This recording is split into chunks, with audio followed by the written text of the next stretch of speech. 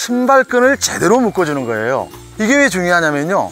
신발끈을 제대로 묶어주면은 발목이 노는 것을 방지해주기 때문에 에너지 소모를 대폭 줄여줍니다. 그리고 발목이 삐는 현상을 막아줌으로 인해 가지고 위험에 빠질 수 있는 것들을 막아준다는 것이죠. 그리고 세 번째로는 신발끈이 풀려서 나는 그런 다반사의 사고를 역시 미연에 방지해 준다는 것이죠.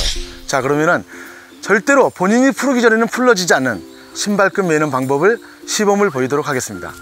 자 신발끈을 밑에서부터 천천히 단단히 조여서 묶고 올라옵니다. 자한 번을 묶습니다. 그 다음에 중요한 건 한 번을 더 돌린다는 거죠. 그 다음에 신발끈을 묶고, 묶고 이쪽으로 이렇게 바깥쪽으로 모아주는 것이죠. 이렇게 모아준 다음에 여기서 매듭을 나비 모양 매듭을 이렇게 두 개를 만듭니다.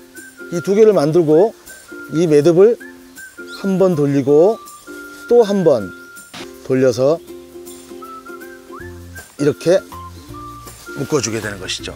그 다음 이 신발끈을 모아 가지고 한 번 비틀어 가지고 바깥쪽 복숭아뼈 쪽 빈 공간 쪽으로 밀어 넣게 되면은 자 이렇게 하면은 절대로 풀리지 않는 신발끈 매듭법이 되겠습니다. 절대로 풀리지 않는 등산화끈 매듭법 그 핵심 내용을 살펴보겠습니다. 먼저 신발끈을 두 번 꼬아서 바깥쪽으로 모아줍니다. 나비 모양을 만든 후 역시 두 번 감아 묶어줍니다.